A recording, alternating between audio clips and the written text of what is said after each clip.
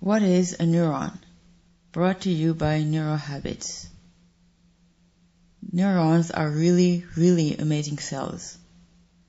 The main function of a neuron is to transmit an electrical signal in one direction, from the branches down to the roots. Let's describe the structure of a neuron in a little more detail.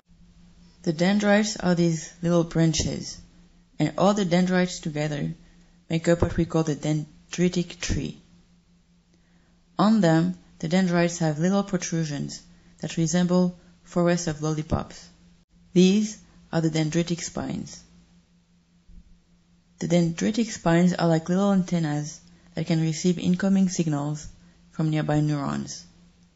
And the role of the dendrite is to transmit that signal all the way down to the cell body. The soma is the cell body of the neuron.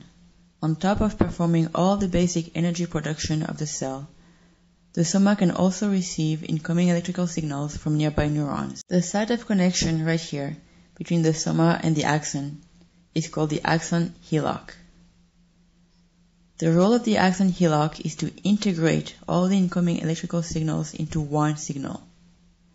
That new signal will travel on the axon all the way down to the synaptic terminal. Instead of receiving electrical signals from nearby neurons, the synaptic terminal will transmit the incoming impulse onto the dendrites of other neurons. That's it for this video. Don't forget to jump over to www.neurohabits.com to read the full article.